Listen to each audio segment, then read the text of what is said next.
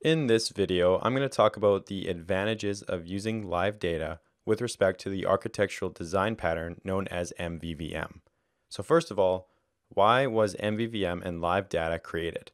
Android already had so many concepts to know about, why further complicate things with different architectures and design patterns? When Android was first introduced, developers would add all of their code to a single activity, or almost all of it to a single activity. Think of this as a God class that contained literally everything. There's business logic, there's views, and there's any other code required to make the activity function properly. There's several problems with building activities that way. Number one is they're extremely complex and they're difficult to read and modify. Number two is they contain all kinds of interdependencies that can cause issues. So if one thing breaks, likely many other things will also break. Number three is dealing with lifecycle events is a pain because there's so many variables that you need to account for. Number four is they are very difficult to unit test. Because of these issues, developers started coming up with their own solutions to the problems. They started coming up with their own architectures, things like MVC, MVVM, MVP, and probably many others. Developers coming up with unique solutions is not a problem, but there is a problem when it becomes sort of a free for all. Because in that situation, nobody really knows what the best practice way is. Everybody's just kind of coming up with their own solutions. So if you went to work at one place, they might use some other random architecture. If you went to work at another one, they would use some other random architecture. There'd be no defined best practice way to do things. That's why Google came up with the Android Architecture Components library. Live data and view models is part of that library. Consider this example. I think this is a really great way to conceptualize the live data and the view model concept. So instead of the activity being the center of the universe, think of live data as being the center of the universe. The view model contains all of the business logic, and you can have any number of observers listening for changes to the live data. The observers are in the activities. If you don't know what I mean by business logic, I mean literally anything related to the code logic if statements, loops, queries to the database, switch statements, all that stuff. Personally, a good rule of thumb that I like to use is I like to try and keep all of the if statements and any of the code logic like switch statements and loops and things like that out of the observers. So I only put them into the view models. Now this is just a rule of thumb. Obviously there's going to be different cases and sometimes you're going to need to put if statements in your activities. But this is just what I, I like to try and do, like a game I like to play with myself. How can I keep all of the logic, all of the business logic away from the views, anything to do with the views. I know that can't always be done, but that's generally just my goal. Also, an important thing to note when you're looking at a diagram like this is live data will only ever update observers that are active. And that might not have been obvious to you, so I just wanted to make sure that was clear. So if you have multiple views listening to some source of live data, you don't have to worry about null pointers or things like that because the, uh, the live data will only update active observers.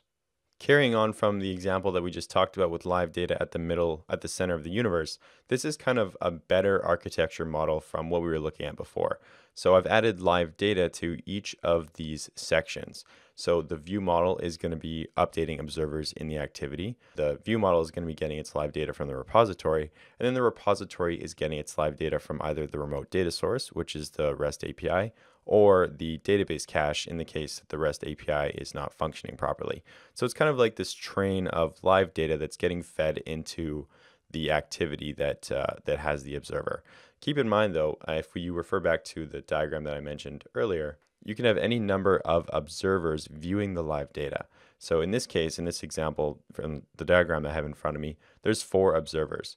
But in the application that we're building, there's only going to be a single observer, and that's going to be in that single activity. But keep in mind, you could have multiple observers. Just in the example of the course that I'm making, there's going to be a single observer. Now that you know a little bit more about live data and how I'm going to be using it in this project, here are six reasons why you should use live data in this project and also in your other projects.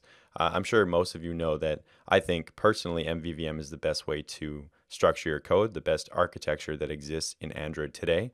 So here are six practical reasons why I think that. Number one is live data ensures your UI matches your data state.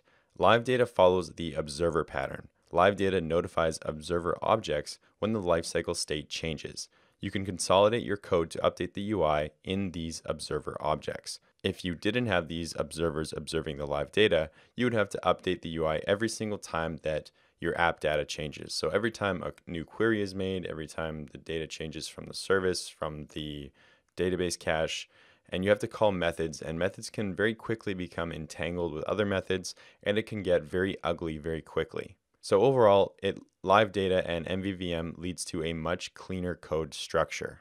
Number two is you probably won't get memory leaks. Or I guess you're you're much less likely to get memory leaks. Observers are bound to lifecycle objects, and those objects are cleaned up after their associated lifecycle is destroyed. So if you remember that diagram that we looked at just a minute ago with the live data at the center of the universe, I'll just bring it up here. All of these observers subscribe to a live data object. If those observers die, or in other words, if an activity is destroyed or it's no longer observing the live data, the live data no longer sends that data back to the observer. So you have no issues there uh, with memory leaks. Number three is there will be no crashes due to stopped activities. So this is sort of similar to the, the point that I just mentioned, but a little bit different. So if the observer's life cycle is inactive, like in a case when an activity is in a backstack or a fragment is in a backstack, it hasn't been destroyed, but it's it's um, it's in that on paused state. It's not going to receive any lifecycle event callbacks from from the observer. So the observer will stop receiving updates from the live data. So you're not going to get any issues related to that. Number four is there's no more manual lifecycle handling. So what do I mean by that? UI components just observe relevant data and don't stop or resume their observation.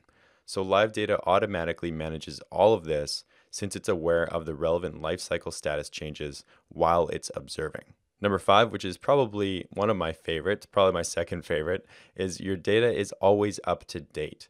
So what happens if a lifecycle becomes inactive? For example, an activity that was in the background receives the latest data right after it returns from the to the foreground. It would receive the latest data upon becoming active again. So you don't have to worry about, you know, calling certain methods to get that new data to make sure that data is updated.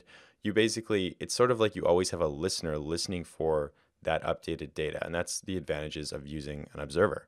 When as soon as that data is available, as soon as that that life cycle becomes active again, or sorry, not as soon as the data is available, it's as soon as the lifecycle becomes active again, that data is updated from the source, from that live data source.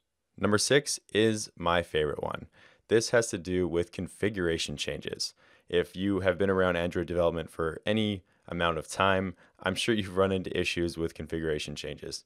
You switch the orientation, the activity is destroyed, recreated, and suddenly your app crashes or the data is not right. Something is wrong. Something always happens on configuration changes. There's always issues.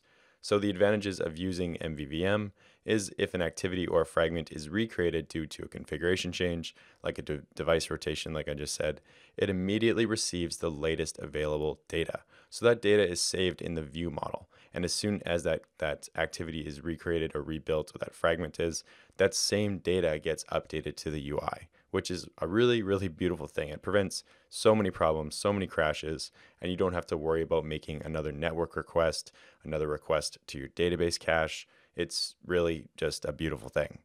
So using live data with the model view view model architecture, also known as MVVM, is my favorite way to structure code. I know I've said that a couple times in a couple of my videos. It's my favorite for all of the reasons that I just listed. If you've never heard of MVVM or live data, you're probably still not completely sold on it, and I get it. It's a very different way to look at uh, at structuring your code. It's also very confusing. There's you know there's live data, there's mutable live data, there's mediator live data. What are all these things? How do they work? It's uh, it's another thing you got to learn. And at the end of the day, uh, when you got to learn something new, it's always painful. There's always struggles. So I get it if you if you're not sold on it. So anyway, if you do want to take the next step in learning MVVM, I have a couple of resources for you. So number one is a free getting started video on MVVM. It's on YouTube. I have a blog post on it on my website. Also, it basically just shows you how to get started with MVVM and it walks you through a very simple, practical example. There's a link to that in the description of this video. And number two is a course on my website. That's actually why I'm filming this video to begin with. It's for a course on my website.